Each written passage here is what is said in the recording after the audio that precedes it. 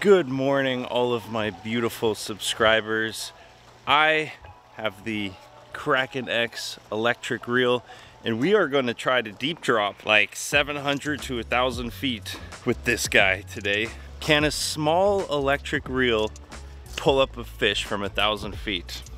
I have no idea. We gonna find out. On our way to Summerland Key. Time to catch a fish. Yeah, buddy. Now this is Dragon Blood Sage. Supposed to bring good prosperity, good luck, and bring safety upon all travelers. So what we're gonna do is we're just gonna wave it around. We're gonna wave around everybody, bring good prosperity, get rid of all of the bad energy, All the bad juju. all the bad juju, Get rid of the juju. all the bad curses on Heiko here. He needs extra helping. Yeah, yeah. Give him extra help. That ain't the sage he's used to. right. And here we go. And that's all it is right, right. there. All the bad juju should be clear and free. Let's go catch some fish. Let's go catch some fish.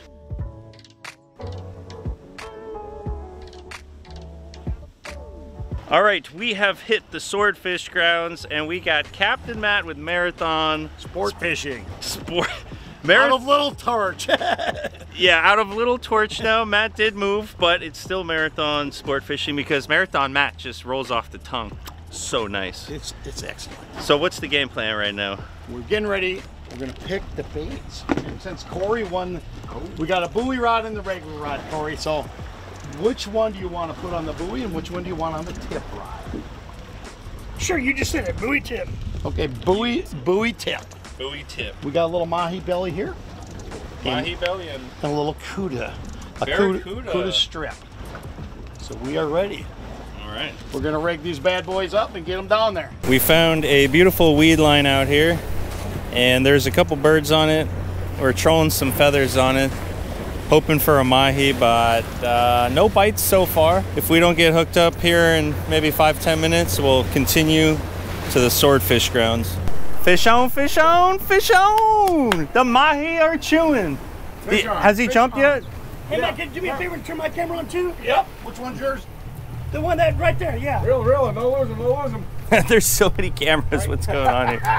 What, wait, wait. What is wrong with us? Look, one camera, two, three, four. Uh, Dan's holding a GoPro. How? What? The most famous mahi in the entire world. Hey! Oh, Corey, put the rod in a holder. right, Corey, Corey. No, Yeah. He will slap the crap on of you. We're gonna Right? It's gonna be 20 to the fourth. He is 20 and a half. Woo! All right. Yeah. All right, we got ourselves the first mahi of the day. First mahi ever for me. Woo! Corey's first body. All right. All right, there we go. We are about to make history right now because I ran out of weights. So, you know what I'm gonna do? I'm going to use Matt, one of Matt's 10 pound sword fishing weights. I, I'm, I'm worried. If, I feel like when I drop this, it's just gonna snap the line. Drop the damn thing. Make sure you do it, do it nice and easy. oh my God, it's going down. It's going down like a rocket. Yeah, I'm gonna bring it up. All right, coming up. Oh, I think there's a fish on there. this is way too much weight for this thing. Oh, I see color. Oh yeah, come on. Let there be a, a fish.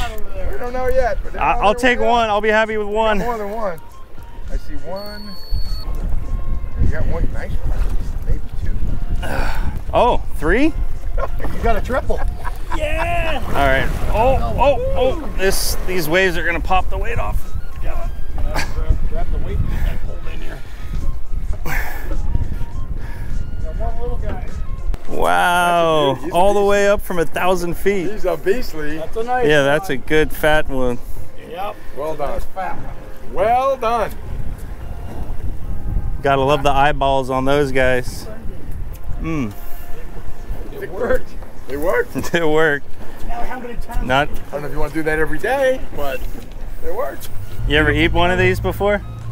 Me? Yeah. No. Oh, you're in gonna for a treat. You're gonna love it. That's a. There you go. That's neat. I appreciate you letting me do all this. That's for sure. I woke up this morning and all I could think about was fish sticks. And you like fish sticks. Yes. You're a gay fish. No, I am not no gay fish. Just gay? I'm not gay and I'm not a fish. Fish sticks. I figured, let's make some damn fish sticks. Why does that word sound so funny? All right, so this is the Rosie, the black belly rosefish, and I gotta give a huge shout out. Thank you so much, Captain Matt. And we're gonna make some fish sticks. All right, I need to, I'm acting like a fifth grader right now. And I'm gonna make this really fun because I got some actual fish sticks, the Gortons, since 1849. I feel like this is like the OG fish sticks. And, you know, they're classics and they're delicious. So why don't we do a little comparison? So I was looking at the ingredients and there's only three ingredients. Minced pol pollock, minced fish, breadcrumb coating, and vegetable oil. So there's only three ingredients. I wanna make these kind of similar. We got our breadcrumbs, and then instead of vegetable oil, we're gonna use olive oil. And then there's our fish. Those are our three ingredients. I'm gonna add one more, and that is the South Florida Fishing Channel garlic and onion seasoning available on southfloridafishingchannel.com. I'm just gonna give it a light little trinkle McDinkle. So the first thing we're gonna do is we're gonna make some fish sticks. we're gonna make fish sticks, all right? And we're just gonna take the skin off of our dicks.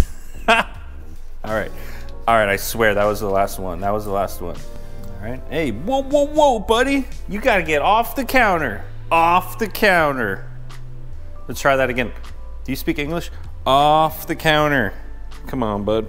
Oop. Boop. Don't do it. Ah, dang it. Hey, down. Not up. Man, that's a down, not up. Preheat the oven to 425. Normal fish sticks in here. Let's see what they look like. Okay, they're okay. They look good. So I'll just put a couple of those on there. Mm. Give it a little, a little drizzle sizzle. Not too much. I think that might have been a little too hefty there. Mix it up again.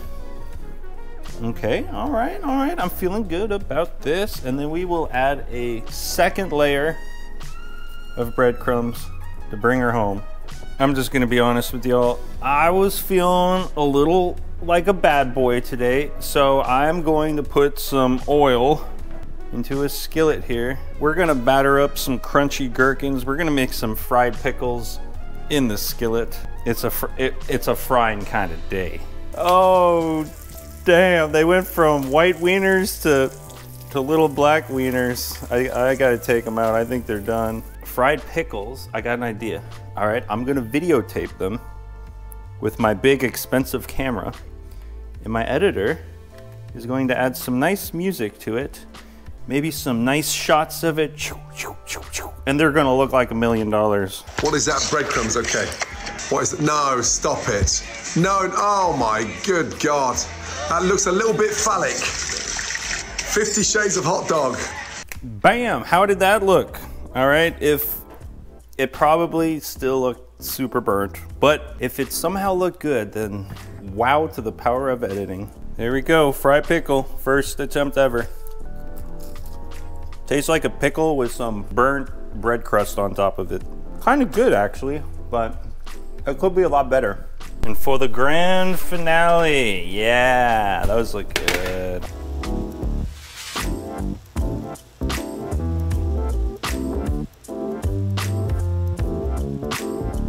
They both look really good. Where's my, oh here it is. Here it is. I'll put all of the fish sticks right on this plate here. We'll give it a minute to cool down and then I will see you guys in front of the big camera. We're gonna try this out here. Okay, okay, there we go.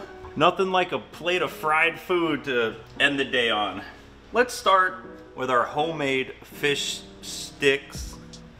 Okay, a little, oh, flaky, flaky. Not as like, these are like crispy, crispy. And I think that's because there is just a lot more oil in these. But uh, let's try it without any sauce. Oh, all right. Ah. Okay. That is so good. The texture is perfect. It's like melts in your mouth, flakiness in there. You can just, it's a little sweet. It's like a deep water, sweet, white and sweet. Unlike my pickles. All right, let's try a store-bought fish stick and then we're gonna see which one is better, store-bought or homemade. Very different. All right, I'm gonna try this one again. There's a difference in flavor and in texture. This has a very crispy outside and the fish is a little more firm on the inside. And there's definitely a lot less fish in the store-bought one. And then our homemade one right here so sweet, tangy. Mmm. I would still I would still pick a huge pile over the homemade ones than over the store-bought ones. But if you want a good fish stick, the store-bought ones aren't bad. The homemade ones just you could just tell it's fresh fish. Probably a lot better for you. Not probably, a lot better for you. There's no vegetable oil in it. You use the olive oil. Makes me wonder what's in their breading. They don't tell you. Their ingredients just say breading. If I could please ask you guys to hit the like button, that would help me so much. See you guys on the next one. Cheers.